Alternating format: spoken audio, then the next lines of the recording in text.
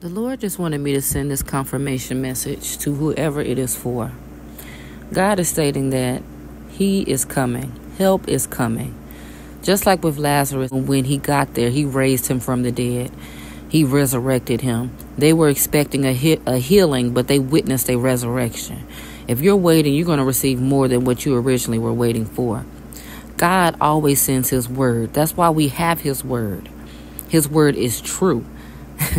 His word is a hundred percent true. Um, it's proven true, tried and tested for generations and generations. God is faithful. He is a faithful God. So if you're waiting for something, just know that God is sending confirmation like He always does. Have you ever noticed that when you're in your thoughts or feeling down and out, God will just send you a message? And it comes from like the unlikely places. Like, let, let me tell you something. I'm sitting here, like, I've been checking the mail because I've been waiting on great news for like the last few days here. And it hasn't been in the mail yet. And so when it didn't come today, it's like, okay, you know, I got to wait till I guess Monday to check the mail again. Hallelujah. I'm checking every day, y'all. Um, because I know it's coming.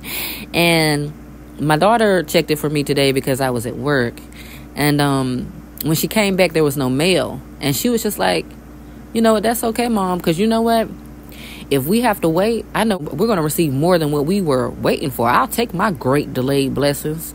And I'm like, you know what? You're right. So we got excited. We started high fiving and dapping it up, celebrating, say, yes, honey, we're going to wait and receive our grand blessings. And you know, it's odd because my daughter is really, sometimes she's not very communicative. She's not very talkative. Like, I'll ask for her, her for advice sometimes. She's just like, it'll be okay. she doesn't give too much. So for that to just come out of her in that moment, that's God.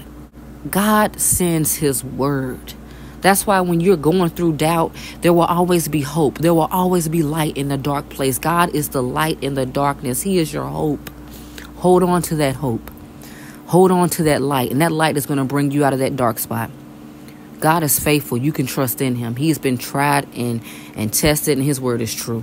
He's not a man that he shall lie. That that's why he is sending his word because that blessing is surely on the way and it will surely exceed your expectations because God said it and it's true. And He has the final say. God specifically sends confirmations. That's why you get the messages. That's why you hear the words because God is sending you confirmation because you believe. He's going to come through for you. That that little cloud, that little cloud, the word, the sign is confirmation of the miracle and the, the wonder that is about to be released in your life. Hallelujah. Amen.